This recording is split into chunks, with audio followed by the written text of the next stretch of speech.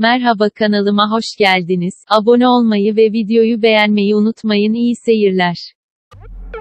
Kendisini Azeri iş adamı olarak tanıtan birisi, Özge Bora Instagram'dan ulaşarak, Moskova'da yaşıyorum, seninle bir gece 1 milyon dolar, hesabını söyle, parayı hemen yatırayım, şeklinde mesaj attı. Oyuncu Özge Borak, Instagram'ın ileti bölümünden gelen, seninle bir gece 1 milyon, hesabını söyle paranı yatırayım, iletini atan Azeri iş adamını ifşa etti.